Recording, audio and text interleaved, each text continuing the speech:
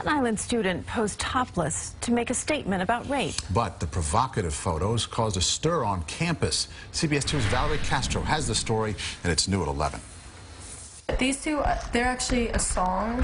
These 15-year-old sophomores are best friends, and together they created this. And I was so excited, and I wanted people to see this. I wanted people to be aware of consent and the rape culture that is in our society. The art piece was a project for Megan Callahan Scarcella's photography class at Susan E. Wagner High School. The assignment was life, liberty, and the pursuit, pursuit of happiness.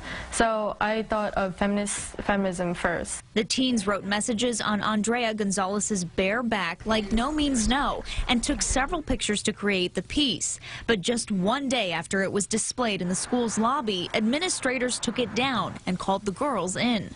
To say, like, we really like your ideas, we think you're talented, but we just can't have a minor, because she's under 18, exposing herself. Some parents agree. I think it's not appropriate. Others see nothing wrong. And I think it's raising awareness, and I don't necessarily think the school should have taken it down either. The girls say no matter how it's displayed, they just want to raise awareness. We still want to get the message out there about how rape is very prominent in society, and it needs to be stopped and educated about.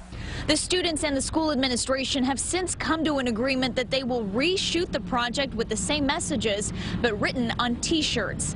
Outside Susan E. Wagner High School on Staten Island, Valerie Castro, CBS 2 News.